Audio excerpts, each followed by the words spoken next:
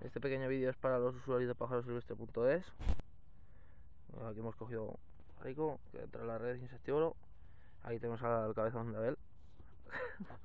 no es que es cabezón, tienes una cabeza peculiarmente grande. Pero tranquilo, soy de tu grupo. Hala, machote. Hala, por ahí se ha quedado, ¿no? Sí, por ahí se ha quedado. Y a seguir cazando.